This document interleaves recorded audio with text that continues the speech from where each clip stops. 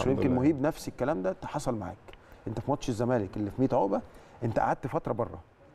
ومعلش انت يعني مستر اجوستي جابك من على البنش وانت معلش يعني إيه خلاص أنا بره الجيم مش الماتش هلعب. خلص خلاص.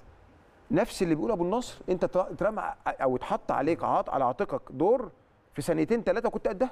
يعني ده الحمد لله طبعا وهي تكمله لكلام حضرتك إن كل واحد لما يبقى ليه دور هي دي أهم حاجة. إحنا في منظومة يعني كل واحد لما يعمل دوره اللي مطلوب منه بيبقى بن- بنبقى في حتة ثانية فدي أهم حاجة. هي إحنا بنلعب لعبة جماعية. كل واحد يبقى ليه دور. لما بيبقى الدور ده هو واحد بيعمله بنبقى يعني بيبقى الموضوع كله ماشي في اتجاه واحد غير لما كل واحد بيعمل اللي هو عايزه. فدي فرق كبير وأنا حاسسها فعلا في النادي. يعني إن أنت الأدوار دي لما بتتوزع وكل واحد مقتنع بدوره وبيحاول يأديها على قد ما يقدر. هنكسب. بنكسب يعني هنكسب. الحمد لله. فدي مهمة وخلينا. برضه أقول إن دايما الخير على قدوم الواردين فريق 18 سنة لكرة السلة في النادي الأهلي بيفوز ببطولة الجمهورية بعد الفوز على سموحة في المباراة النهائية. ألف مليون مبروك. كرة السلة في النادي الأهلي في العلالي سواء الفريق الأول أو قطاع الناشئين. جهد كبير جدا مبذول من اللاعبين والجهاز الفني في النادي الأهلي. وأيضا آه، مجلس الاداره اللي دعم هذا القطاع بشكل كبير خلال الفترة القادمة واللي كمان دلوقتي بيدعم فريق وقطاع كرة اليد إن شاء الله عشان بإذن الله يحقق أحسن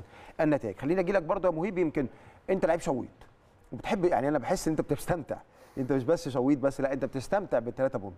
آه، آه، بتبقى دايما محتاج تكون اعصابك هادية لأن أنت عارف لو tension ة بسيطة wrist إيدك بيح- بي بي بي بيتغير. آه، بيتحطوا عليكم pressure ماتشات ما فيش ماتش سهل في الدوري ولا في الكاس. بتخرج بره نفسك بره ال- ال pressure ده إزاي؟ هو طبعا التمرين أهم حاجة برضو بيبقى بتخليك إن أنت مجهز نفسك للماتش. برافو. آه، في ماتشات طبعا بيبقى فيها بيبقى الضغط كبير شوية ويبقى محتاج منك تركيز أعلى.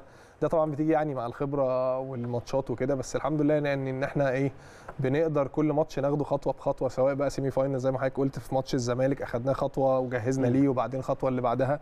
فكل ماتش أما مستر جوستي برضو بياخد الماتشات ويجهز ويجهز لها.